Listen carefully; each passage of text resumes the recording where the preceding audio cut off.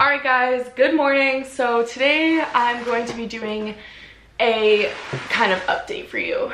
And I want to update you guys because I feel like a lot of you guys have been really worried about me and I've been worried about myself honestly.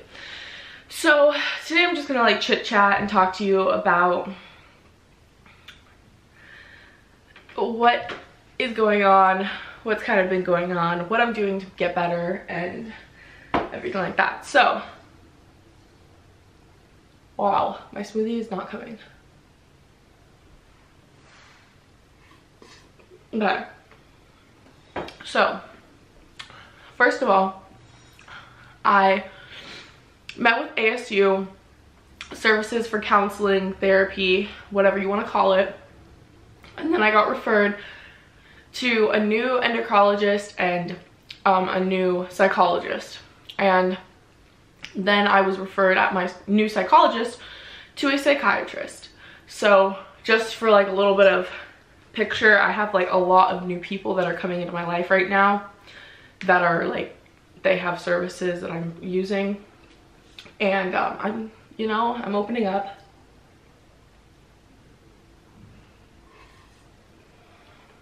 My psychologist that I have she is very, she knows what social media is. She understands it. She specializes in social media addiction and a few other things. But like she used to work at ASU and now she has her own practice. So she really understands college students, social media, and she gets like the obviously a lot of other things. So for me, I felt like she'd be perfect. Met with her and it went really well. And then she was like, you know, Sidney, like, I just want to know seems like there could be a possibility of bipolar. So I'm just like throwing that out there for you guys. Um, I don't really want that on my record, so I really am not pushing for that even because like I feel like a lot of people get labeled bipolar when they're younger because like uh, we're a little bit more extreme. Whereas like when we get older, everything kind of levels out. Like our highs are here and our lows are here and now my highs are here, my lows are here. So I really don't, you hear my dogs. I really don't want that on my record. And I also don't, I know that like if that's on my record, that could affect jobs, that could affect other things because it is on the health part and like being bipolar, like it is very extreme. And it's not a bad thing, but like, you know, I just, I don't know if I feel like I'm actually bipolar. Like it's been in my head before because I've been like, damn, like, you know, anyways, so the dogs are barking, but I'm gonna continue on with this. Um,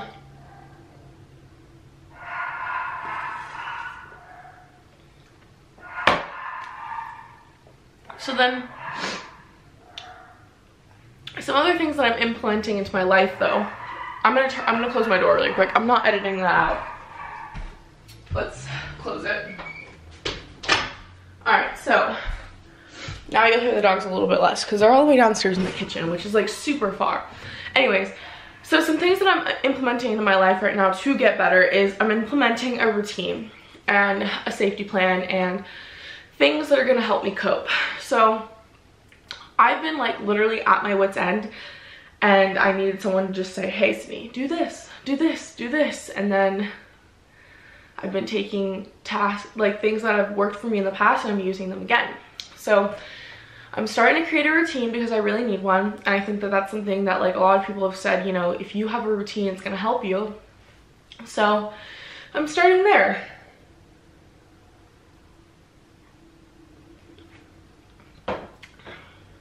I'm starting by having a morning and night routine because they've said that like that really helps people because if you wake up and you have a routine and things that you do then it helps. And then if you have a night routine, it helps you go to bed better.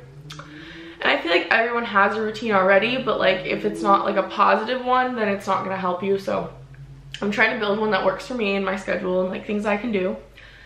Then the other thing is I'm incorporating meditation and like deep breathing and stuff because that's super helpful. So in the mornings, I'm starting to do 10 minutes a day, which seriously 10 minutes helps so much and if I can do it later on in the day too, I'm doing it. And this is my last week of classes and then all I have are, I have like two finals and I'm done. And um, I go back to California pretty soon. So it's just kind of one of those things where it's like, okay, Cindy, if you can just get through this and you can really focus on yourself during the summer, focus now, start implementing these things because anything in my life that I've ever needed to do, including health stuff, like when I wanted to lose weight, I didn't say, oh, I'm gonna start April 1st. I was like, I'm gonna start now with the little things and see results. The other thing too though, is um, I realized like a lot of these things are gonna be implemented over time because for me, it's very hard to just throw myself into doing all these things and then I like forget about the things that are in my daily life that I still need to do. Like, I love doing YouTube, so that's not something that I'll forget. But like, if right now I'm running a huge summer challenge, which, which has over 300 people, pre-sale ends April 28th. So if you're wanting to hop in on this, like everyone is doing so well already and it's like super fun, but implementing all these things in, I don't want to forget about the other things, which is why I'm doing it slow and steady. Same with when you're at the gym and you're trying to lose weight. You don't go from going not any times a week to seven days a week because if you do that, you're probably gonna fall off the bandwagon in a month. So I really wanna do something that's gonna work for me. So my goal is over the summer, when I get back from California, and maybe when I'm in California, I know that they have yoga studios there and things like that. I might get my boyfriend to go with me and like one of the best things is you guys, he texted me. So I texted him and this is what our text combo was. And he's probably like, Sidney, why are you telling everyone what we do and what we text about? But it's okay. He's been so sweet. Uh, so, um, he said, how was your day and how are you, babe? And then I said, um, I said, want to do hot yoga with me? I like didn't even answer his question. I'm like that a lot, that like I don't really answer questions. Um, but then I sent him the like the link and then like the price and then like the link for the schedule of the hot yoga and he was like, um, he's like, do you feel better? And I said, I had my appointment today. I just want to feel better. And he said, and yes, I will do hot yoga with you. And then I was like, I'm going to have more balance while you are here in a routine. And, and I was like, I need a routine. And he said, I can help with whatever it is you need, babe. And it was just so nice to hear that because like a lot of the time people, they're just, they're just like, why can't you just get better? And it was just so nice because like I have the support system and like I have people that really care. Like my parents really care. Um, and like my goal is to go weekly to counseling and therapy because and then like after that maybe bi-weekly because my thing is even though my insurance only covers three sessions and I already used one of them I feel like it's so important for me because uh, I feel like I fell into this because I didn't have anyone to talk to that was in my like out of my life not biased um, and kind of like did they none of these people that I really know have like expertise obviously so like I really didn't want to share anything and I wasn't ready to and I need someone that understands social media because like when I told her about me posting that video she was like I can understand that that's like your coping mechanism it's easier for you to say that on the camera like she like got it and I was like okay good like someone gets it I just like felt like a weight was lifted off my shoulders because I was like okay Amy and you know, my new one, both got it. I was like, this is great. So yeah, that kind of like feels good. Um, but I'm implementing those things. Once summer hits, I want to do some yoga. I want to do some meditation. I might go to this place called Current Meditation. So if anyone lives in Arizona and you guys want to go with me, I'm so down. Um, I'm going to start implementing like going outside more. Toasty is a big part of this. So one of the big things is like my dog Toasty. By the way, I really want to get him a brother. So like If you guys see a cute little Pomeranian that's brown, because Toasty's like brown and white, I really want to get a brown one and name him Alvin. I don't know why, I just want one. But I'm really stuck on that name. And um, I was so close to getting another dog. Oh my gosh, you guys, it's so bad. But Toasty plays a big role into this because Toasty is like very calming to me and um, he's already like my emotional support dog. Like he doesn't have like official title or anything, but like he definitely like, he's like anyone's pet, you know, like they're like your companion. So it's been really nice to have him. He sleeps in his little dog bed because he was kennel trained. So like he doesn't really like to sleep on the bed even though I give him full permission. like he just won't do it. Um, I've been making smoothies in the morning, going back to the whole routine thing. I've just been like trying to figure that out. Um, and then after May, I might get a job, but we'll see because I might just need to take a step back. I'm trying to think of what else. Okay, and so this is the big thing. this is the thing that like a lot, if you've watched this point, this is something that like I feel like I never really told anyone. Well, obviously I told people, but there's a few other things I've been struggling with that I'm going to talk about in another video because I feel like they don't, they need their own like spotlight kind of. They don't deserve to be in a video like this where I'm just talking casually because they are very serious issues um, that I've been dealing with otherwise. So the other thing though is I need to be present. And this is something that I feel like a lot of people say all the time. They're like, I'm always on my phone. I just don't get it. And I've been like that too. I have not been present. I literally am on my phone all the time, which is why meditation is kind of like gonna get me grounded. But I'm also going to be limiting how often I check my comments, how often I do work. Maybe, so like my thing is probably four hours a day um, every single day and then one day a week I'm gonna just take a full day for myself where I put my phone away completely um, and usually I'll be like hanging out with someone by the time I put my phone away so I don't have anyone to like you know do anything. But I'm really trying to implement being present. Because I feel like I might be there in a conversation with someone but I'm thinking about everything else. I'm not there. I'm not present. And I'm not mindful of anything in my life right now. And I feel like so one thing is I a lot of the time like you guys ask like what religion are you Sidney and I am not Jewish. Um, I'm not Christian. I my family is Jewish. My my personal spirituality is more towards Buddhism. Um, I really do believe in the Four Noble Truths. I feel like the end of all suffering is when you stop wanting materialistic things. I believe in Dukkha uh, which is like craving and stuff like that. Like I believe in those things but like I also don't there's like there's other things that I believe in that come from other religions. So like for me, I'm just kind of spiritual, but I do do like believe in certain things. But um so one of the things for me is the fact that I just want to make sure I'm doing whatever it is to be mindful and to be like fully there, fully present. So when I'm filming a YouTube video, I turn my phone off unless I'm using it for notes or anything like that. Um, if I'm meditating, you know, obviously I'm in that mode for 10 minutes, 30 minutes, however long. Right now I'm doing 10 minute meditations and I'm just really centering myself because I haven't been present. And I know that my boyfriend, he's gonna appreciate this because like I'm always on my stuff.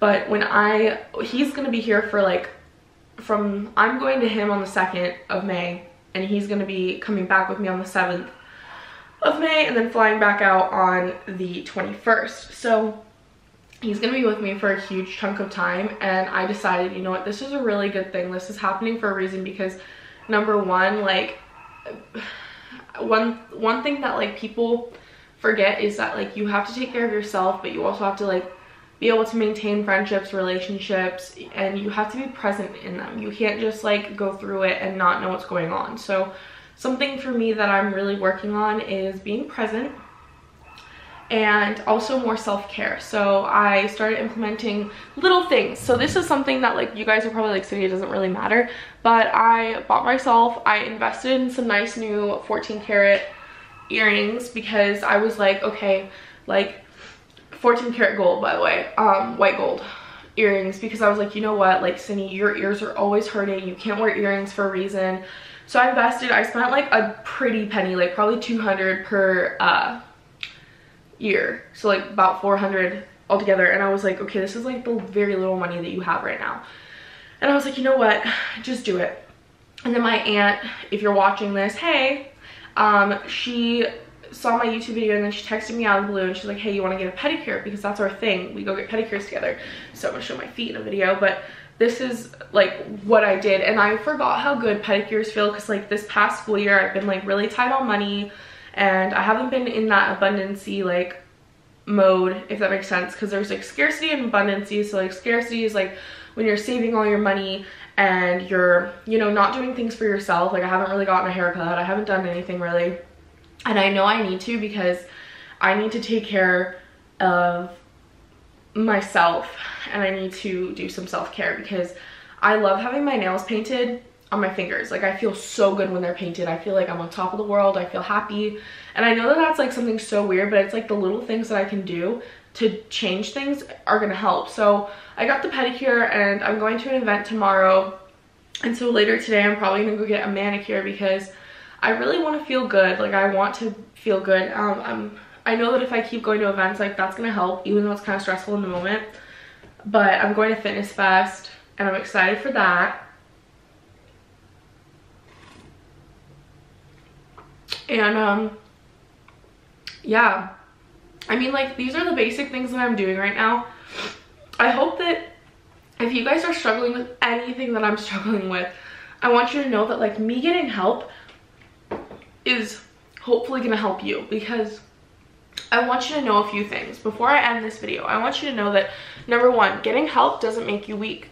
Number two, finding coping mechanisms and a safety plan for when you are feeling your lowest of your lows, your highest of your highs, and just in between is really gonna help too. If you can take any of the coping mechanisms that I have put into this video to help you, I would highly suggest it. You can always message me, ask me questions. Um, and obviously like right now I'm dealing with like a lot of things on my plate. Like I'm finally finishing my freshman year of, high, of college and you know, I put up these pictures in my room because I felt like everything was just so bland. I just had to do things that were going to make me happy. And if you are trying to become happy, there's a point, there's people to talk to. And, you know, if you can't afford to go to, to a therapist or anything like that, your parents, you don't want them to know, reach out for help, you know. There are so many hotlines with people that you can call and talk to that are free. And if I were you, I would definitely take advantage of that so you can just talk to someone. And, uh, you know, I'm using the app Headspace to meditate. My friend Jess, who is like one of my very, very close friends, if you guys don't know Jess, she and I are going to the pool today and I'm going to be phones away. We're going to be talking, chatting, you know, having a good time. Obviously, I'm continuing working out. And yeah, so like it's, I'm just really trying to incorporate a good, healthy lifestyle because like, you know, everyone's like the girl who works out, meditates, you know, eats healthy always feels the best. And it's true. I need to find coping mechanisms to get me to that point. So I hope that you guys enjoyed this video. If you did, don't forget to like, comment, subscribe. I am in a better mood today. My moods go from like every two hours they'll be like super happy or super sad right now, which is really kind of crappy. But you know, if you can't enjoy the ride of life, what can you enjoy? So I love you guys so much. I am doing a little bit better. It's taking time and it's a lot of a mindset change, but when you're stuck in a mindset, like for me right now, I'm stuck in this mindset where I just feel so empty and lost. Um, that like you have to just take baby steps and that's what I'm doing but I love you guys so much and I'll talk to you guys in my next video. I hope you enjoyed this. If you guys are interested in seeing more health videos, um, they're gonna be coming back, I think you promise. And a ton of college videos are coming very, very soon because I've just been like so out of it recently that once uh, college is like over with, I'm gonna be doing a reflection video and just stuff like that. So I hope you enjoyed this and I'll talk to you guys in my next one. I love you. Bye babes.